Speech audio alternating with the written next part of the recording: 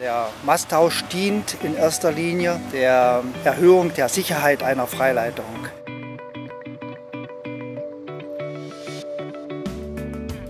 Stromtrassen gehören in Deutschland schon lange zum alltäglichen Landschaftsbild.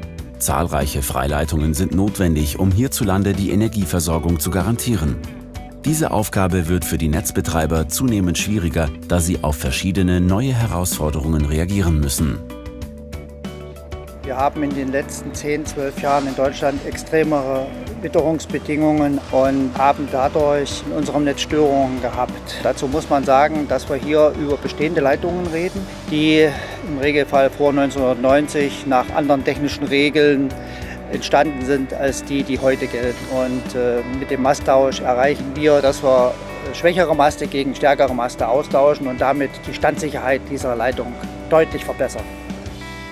Für die bevorstehenden Arbeiten kommen nur qualifizierte Freileitungsmonteure zum Einsatz. Sie sind nicht nur schwindelfrei, sondern speziell ausgebildet für den Umgang mit Stahl und Elektrizität.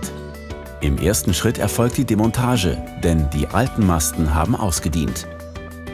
Für den leichten Abtransport und für die Wiederverwertung des Baumaterials zerschneiden die Arbeiter die Stahlteile noch auf der Baustelle weil die Arbeiten ja im spannungslosen Zustand durchgeführt werden müssen, werden die Leitungen ausgeschaltet. Hat natürlich keinen Stromausfall zur Folge, weil wir ein vermaschtes Netz haben und die hier an der Stelle nicht übertragene Energie durch andere Leitungen übertragen wird.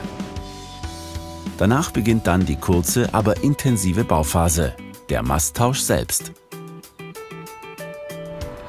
Die größte Herausforderung beim Masttausch ist die Vorbereitung, die Planung und das Einholen einer Genehmigung.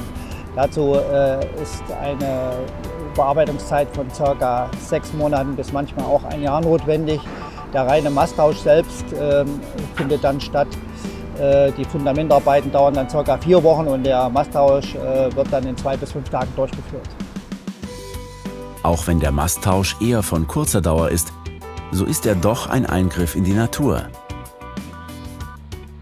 Zum Masttausch gehört natürlich auch der Schutz der Umwelt und der Natur. Wir haben zum Beispiel immer eine ökologische Baubegleitung hier vor Ort äh, und kontrollieren die Maststandorte, bevor wir beginnen mit den Arbeiten, immer nach Brutgeschehen von Vögeln, Hamstern, Reptilien, ähnliche Sachen, werden dementsprechende Schutzmaßnahmen auch eingeleitet oder auch die Baustelle gestoppt.